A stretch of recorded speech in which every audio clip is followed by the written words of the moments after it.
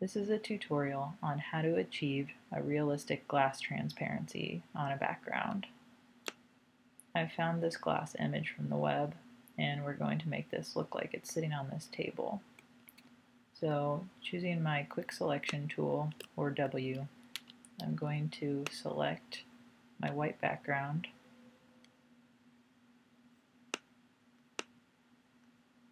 and holding down the option key you can unselect or deselect some of the glass.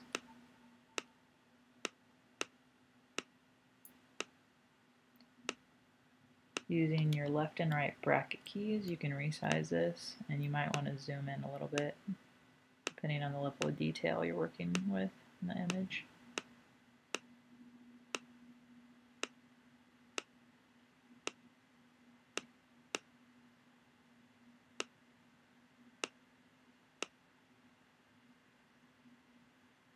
Okay, now we need to get the inverse to create this mask. I can do that by doing Command Option I, oops, Command Shift I, I mean, or select and your inverse.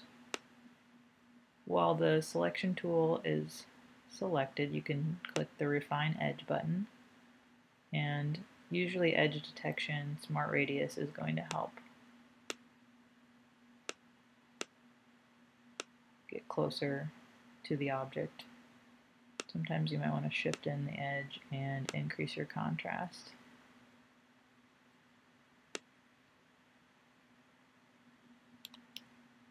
Again, your bracket keys can be used, your left and right brackets, to help select some of the white area and remove it. Okay, that's looking pretty good for now, so I'm going to click OK and we have a new layer with a mask. I'm going to click the M or quick selection tool and we're going to select some of this border remaining and I'm going to do a command C to cut that.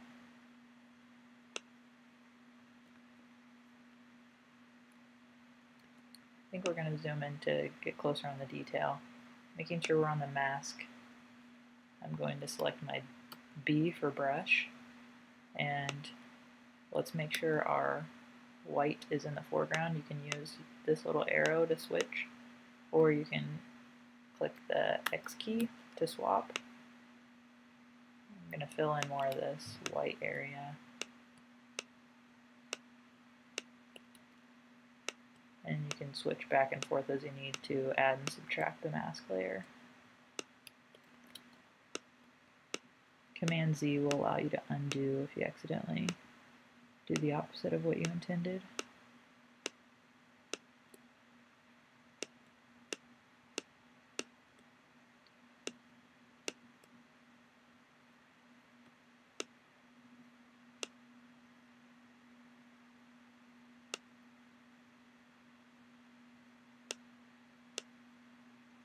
This is looking pretty good. Okay, let's zoom out.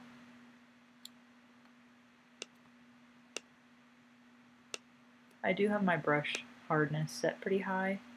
If it's more feathered, it's just not going to look as crisp against the background. Don't want it to look blurry. Okay, at this point we can duplicate this layer by doing Command J, or you can drag your layer onto new layer. We'll hide the bottom layer, and at this point I'm going to start looking at some of these overlay effects. You can start going through your effects panel and see how this overlays on the background.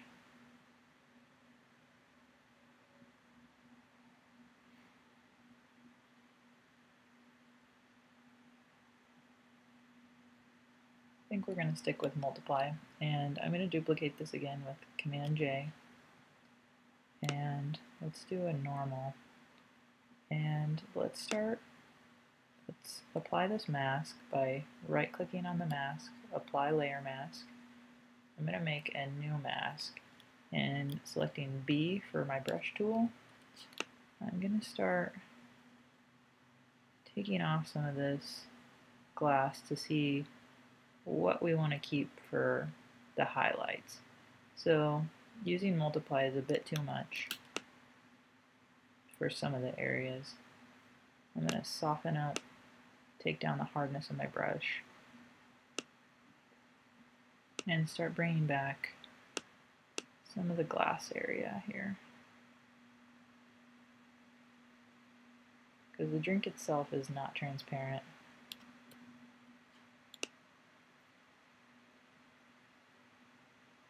And we want to keep some highlights on the glass as well. So let's take down our opacity up here and go over the glass to keep some of the whites. And we can take some of this away too. I'm just going to see how this looks.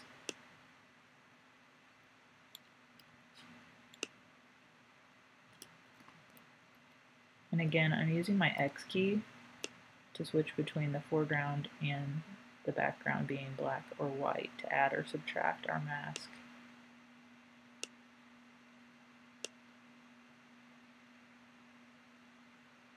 You can, if you don't have black and white, you can hit your D key and that'll go to your default. And again, just switching back and forth to achieve this realistic effect.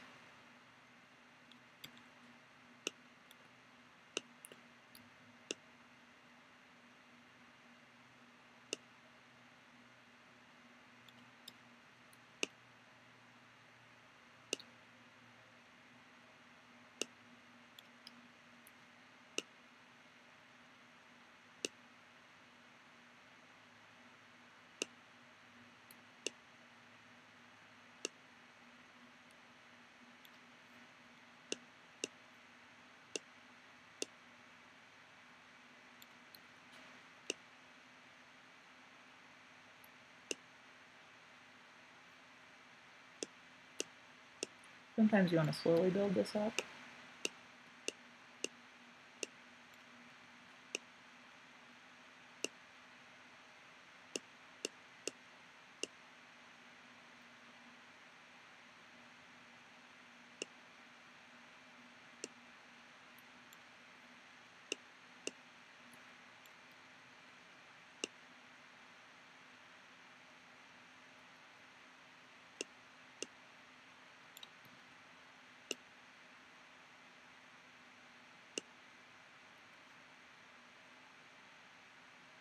So again, you can spend more time. I'm moving pretty quickly on this.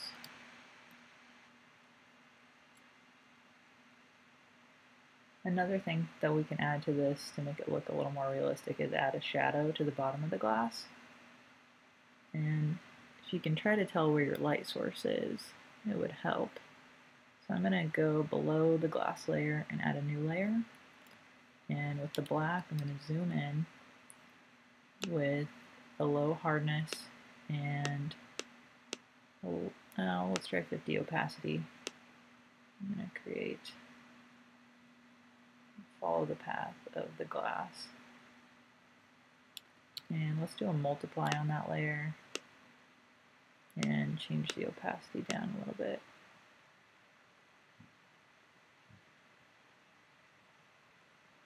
Let's group these three by Command G or Control G if you're on a PC. And you can see you can change the location of the glass. Another couple of things we're going to do to make this look more realistic is duplicate our layer, right click and delete the layer mask. Let's add a linear burn to this one to increase the vibrancy to match the background a little bit more add another mask to this. Select our brush tool and with our black as the foreground, we're going to start, let's turn down our opacity.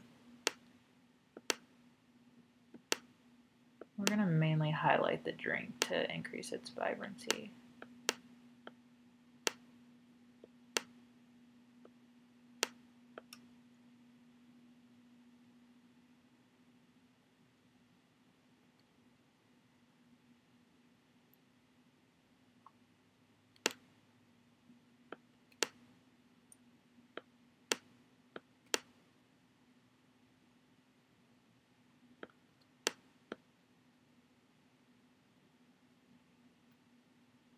So we want to match the levels within the background. Or if you can tell your light source, make sure you're matching your light source. Kind of a last and final thing we're going to do is add levels or change the levels by adding a layer. And I'm going to move this outside of the group and make the levels by holding option. I'm going to make the levels only affect the group so it's not affecting the background. Double click on the levels and we're going to continue to play with this until we get the effect we're looking for.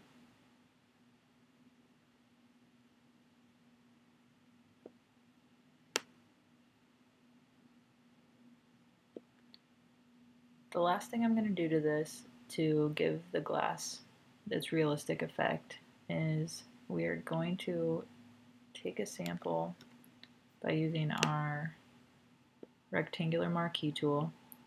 I'm going to select this line that we can see the background through and doing command J I'm going to copy that layer and we're going to shift it and blur it just a little bit. Because when you look through glass, there's some displacement and it's usually a little bit blurrier.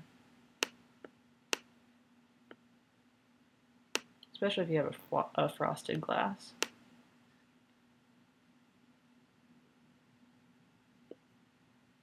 And we might want this above or below, depending on, you might use something as a reference to see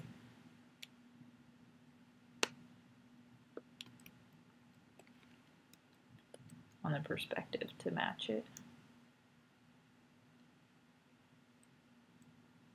Another thing, if you are looking at a completely transparent glass, you will want to blur and do a little bit of image displacement of the background. So if we could see through this, we would move part of the hills in the background.